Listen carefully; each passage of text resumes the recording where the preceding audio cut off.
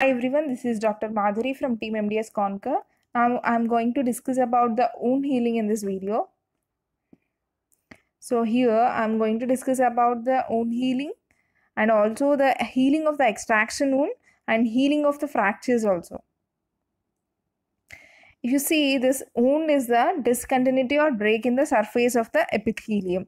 Okay, if it will be simple, only the skin is involved and when it involves the underlying nerves and vessels and tendons, it is called as a complex wound.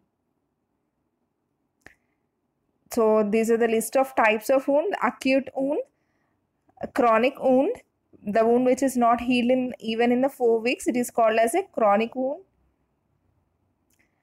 And the other classification includes like closed wounds and the open wounds. Closed wounds are contusion, abrasion, and hematoma, whereas open wounds includes incised wounds, lacerated, penetrating, and the crushed wounds. So usually the healing will be taking place in two steps that is regeneration and the repair. Regeneration occurs when healing takes place by the proliferation of parenchymal cells. Okay. And whereas repair, it is the replacement of the injured tissue by the fibrous tissue. And there are two processes which are involved in the repair here that is granulation tissue formation and the contraction of the wounds. If you take the granulation tissue formation, it takes place in three phases. That is phase of inflammation, phase of clearance, and phase of in phase of in growth of the granulation tissue. So in phase of inflammation, after the trauma, blood clot will be seen at the site of injury, and the, there is acute inflammatory response within the 24 hours after the trauma at the site of the injury. So this is the phase of inflammation. If you see the phase of clearance, uh, the combination of the proteolytic enzymes and the autolytic enzymes and the phagocytic activity of the macrophages, all these will combine and clear off the necrotic tissue, debris and the red blood cells, which is seen in which is called as a phase of clearance. And in the last ingrowth of granulation tissue, it consists of two main processes. The first one is angiogenesis Angiogenesis means a neovascularization. That means the new blood vessels are formed. And this angiogenesis takes place under the influence of these following factors like vascular endothelial growth factor, platelet derived growth factor, transforming growth factor, basic fibroblast growth factor, and surface integrins. So, if you take the next process that is called as fibrinogenesis. Okay, in this fibrinogenesis, the, the newly formed blood vessels are present in amorphous in the ground substance okay then this fibroblast will have a combination of morphologic and functional characteristics of smooth muscle cells and this collagen fibers will appear by the sixth day after the wound. And then which finally form formation takes place that is called as a cicatrization. I mean there will be more and more of collagen formation. Then coming to contraction of the wound, it starts after 4 days and completed by the 14th day after the wound. And during this period, the wound will be reduced approximately 80% of its original size. And this contracted wound will result in a rapid healing.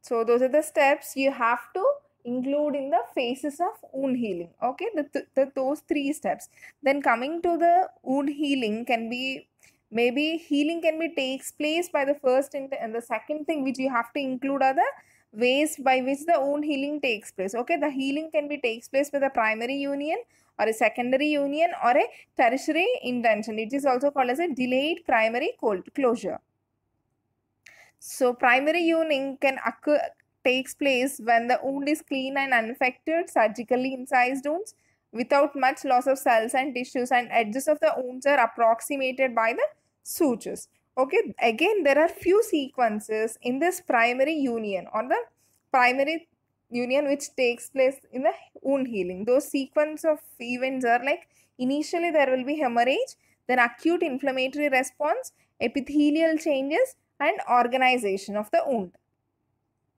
So hemor hemor initial hemorrhage includes immediately following the injury. Okay. Then acute inflammatory response within 24 hours. Then there are the epithelial changes where a, a basal cell of epidermis from both the cut margins start proliferating in the this phase. And a, well approximated wound is covered by a layer of epithelium within 48 hours and by the fifth day multi-layered epithelium can be seen.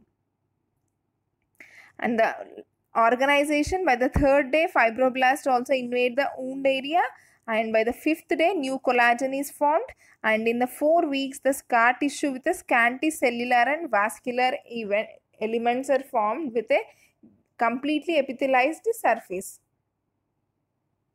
So those are the four phases which are take place in the primary union. So if you take the secondary union, this secondary union is taken takes place when the wound is infected when having extensive loss of cells and tissues and if the wound is not approximated by surgical sutures. So and these are the sequences which takes place in the secondary union. The initial 3 to 3 to 4 uh, phases are the same and the last thing is the wound contraction the presence of infection or extra when, which you can see in the secondary union.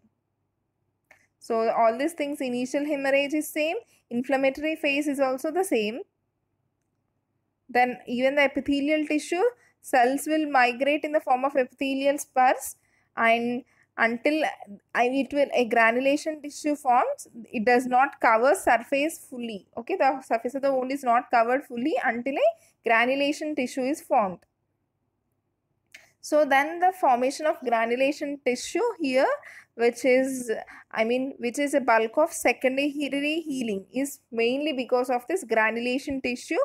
And newly formed granulation tissue we can demarcate with a deep red uh, color which is granular and very fragile.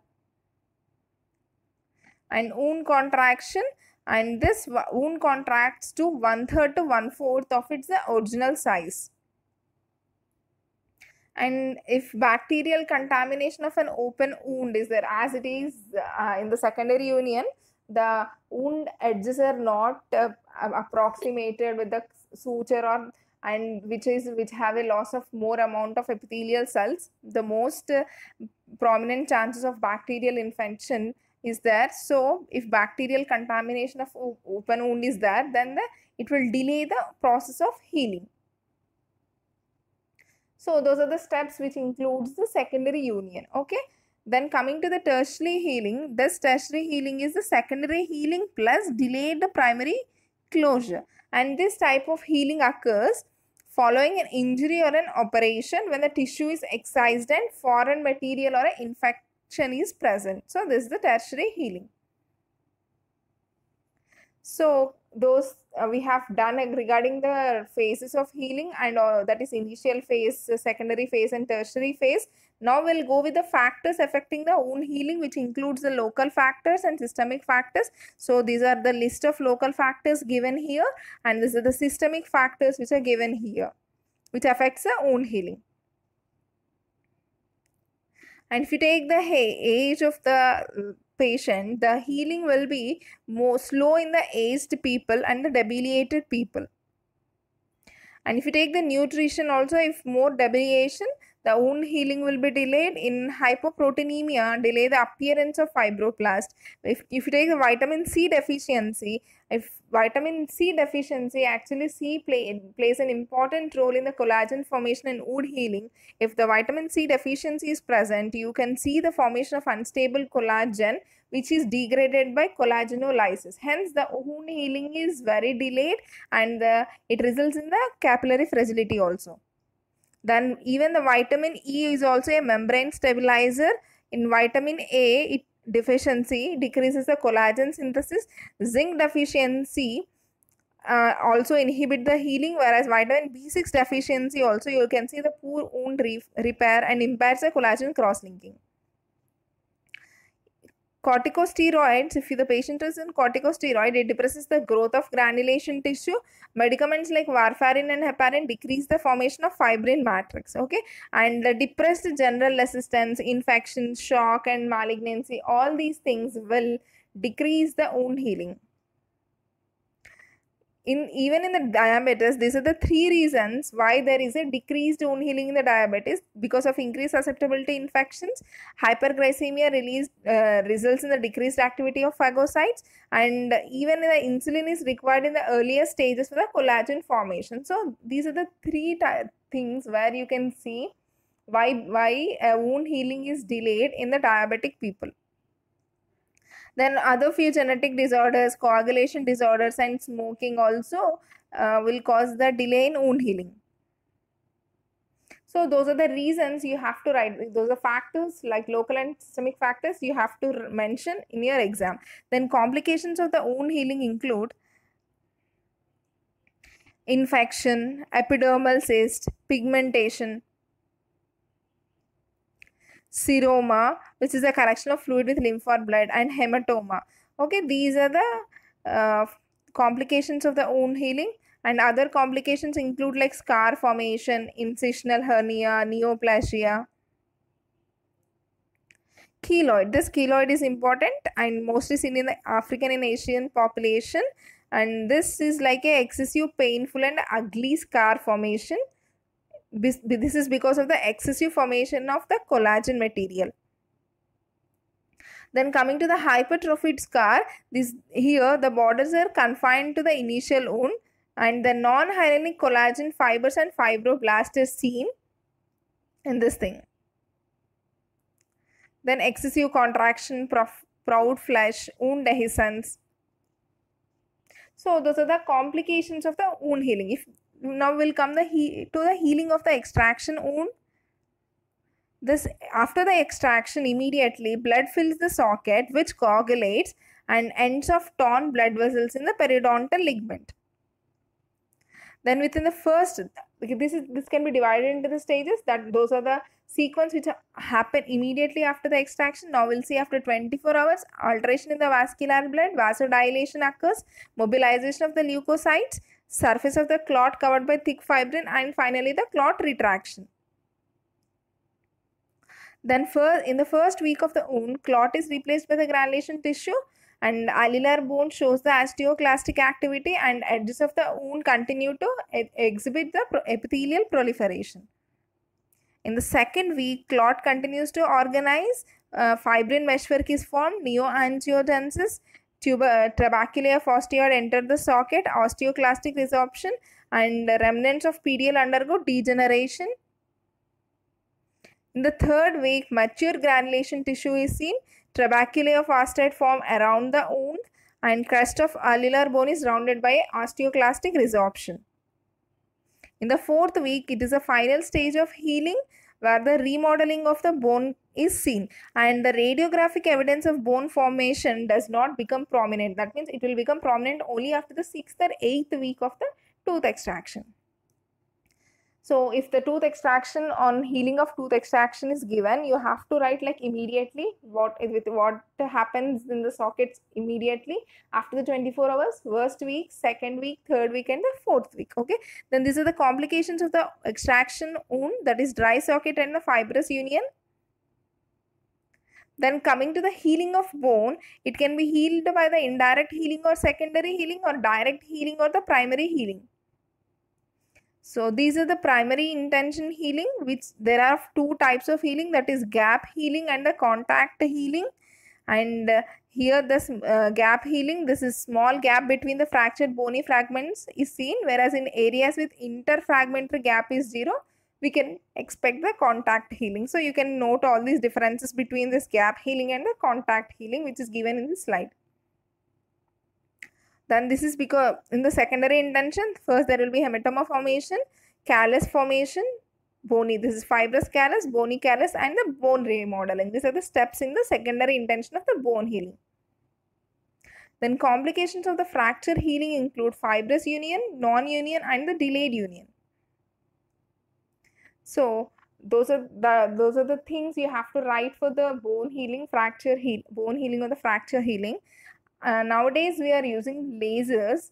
So we'll see the lasers in the wound healing. So these can can be write in uh, you can write in the uh, applied aspects. So lasers will employ employ the low level radiant energy and it will i mean this majority of the laser wound healing has focused on the prolif- proliferative phase in the literature and this low level radiant energy of laser will accelerate the wound healing reduces the pain and the enhances the neural regeneration. So these are the important points you have to write in the lasers in wound healing. And the wound care should be taken like you have to provide a nutritional support and monitor the nutritional sub status and create maintain a clean moist wound environment with adequate circulation and oxygenation and you have to know about few points about the hyperbaric oxygen therapy also. Here the 100% oxygen it will be given at 2 to 2.4 atmospheres for 1 to 2 hours. So these are the applied aspects you can write like lasers and wound care and hyperbox, uh, hyperbaric oxygen therapy. And advances in the wound care we are using now growth factors so this is the list of exogenous application of growth factor directly on the own. you can you note these points because these are the advancements. And this is the delivery system that can be used to deliver the growth factors. Like we can give topically or a fibrin sealant or a glue use of a platelet rich plasma and tissue engineered equivalents. So that's it. So if a wound healing answers answer has come you have to write all the uh, healing of wound phases then the complications of wound healing then the extraction socket healing then the fracture healing uh, finally few applied aspects like lasers and the advances uh, in the wound healing that we wound care that we are using now growth factors directly on the wound. So these are the re references which are included in this video for the wound healing. Thank you. Have a great day